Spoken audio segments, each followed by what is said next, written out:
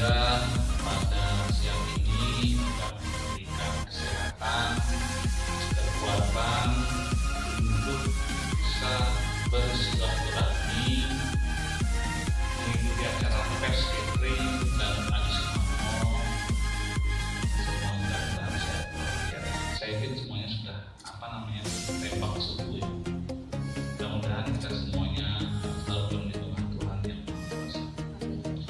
Pada kesempatan yang berbahagia ini, atas nama pribadi dan dinas, saya mengucapkan selamat datang di lembaga pendidikan Baru Adi Sumarmo kepada rekan-rekan wartawan. Sekaligus saya ucapkan terima kasih dan penghargaan yang setinggi-tingginya atas sudi meluangkan waktu dari kegiatan-kegiatan yang berpadat untuk dapat menghadiri acara ini.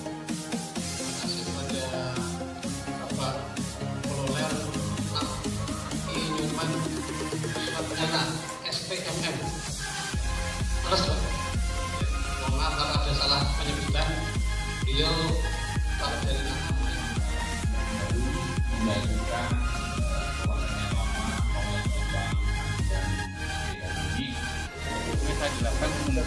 Lanut Adi Sumarmo ini adalah salah satu lanut untuk pembentukan pembentukan tidak ada di sini, kejuruan ada di sini, seluruh personel TNI Angkatan Udara itu dari awal. Nanti setelah mereka lulus baru dipecah-pecah ada yang Sleman, ada yang ke Kalijati, Jogja, macam-macam ada yang ke Bogor. Untuk pada saat masa pandemi ini kita dari Lanut dari Sumarmo sesuai dengan arah pimpinan pemerintah kita melaksanakan menerapkan betul-betul yang protokol kesehatan mulai dari selalu pakai masker, jaga jarak, cuci tangan setiap saat. Untuk siswa sendiri tetap kita laksanakan. Sebelum mereka datang ke sini kita minta mereka satu hari sebelum berangkat itu disaksikan oleh eh, dokter lanut setempat di lanut kita. Mereka melaksanakan rapid test, kalau bisa swab. Sampai di sini sebelum masuk mes untuk eh, melaksanakan tes berikutnya kita rapid test lagi. Yang tidak reaktif itu kita masukkan mes, yang reaktif masuk ke rumah sakit langsung. Kita selesaikan di sana di rumah sakit. Kalau mereka harus dicek rapid sekali lagi dia masih reaktif, kita swab. Mereka langsung melaksanakan isolasi eh, 14 hari. Nanti yang kalau sudah melaksanakan pendidikan, rutin kita laksanakan tiap bulan untuk melaksanakan seluruh siswa rapid test. Kita laksanakan kondisi dengan dokter yang di rumah sakit kita dan sampai saat ini sudah terlaksana. Dan kita tetap melaksanakan tiap seminggu sekali melaksanakan disinfektan, semprot semuanya dan mereka melaksanakan setiap selalu jaga jarak. Makan kita bagi dua, sip-sipan.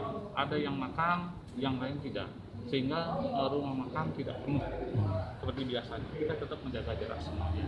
Termasuk di kelas. Sebagian di kelas sebagian di lapangan. Karena di situ menunjukkan seperti itu sampai dengan saat ini masih alhamdulillah sampai dengan saat ini nih, eh, mudah-mudahan ke depan juga tidak ada yang eh, positif.